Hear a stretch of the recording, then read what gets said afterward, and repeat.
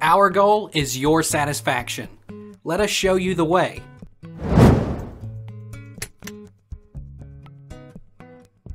How long will a generator run on a 20 pounds tank of propane?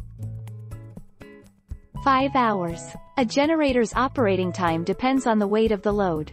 On average, generators use between 2 and 3 pounds of propane per hour.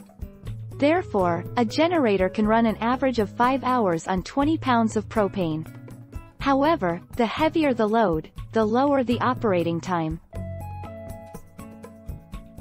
How long will a whole house generator run on propane?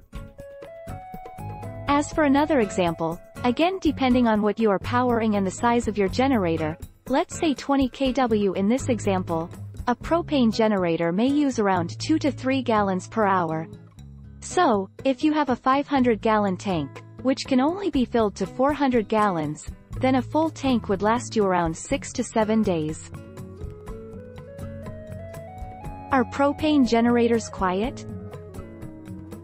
Propane is an affordable fuel, typically costing 30 to 40% less than other fuel types. Propane also burns much cleaner than gasoline or diesel, reducing a company's carbon footprint. On top of that, propane generators are quiet, so there is no worry of disturbing neighbors when working in a residential area. How long will a 3,500 watt generator run on propane? 10.5 hours. Champion's 3,500 watt RV ready generator features dual fuel, allowing the 224cc engine to run on either gasoline or propane.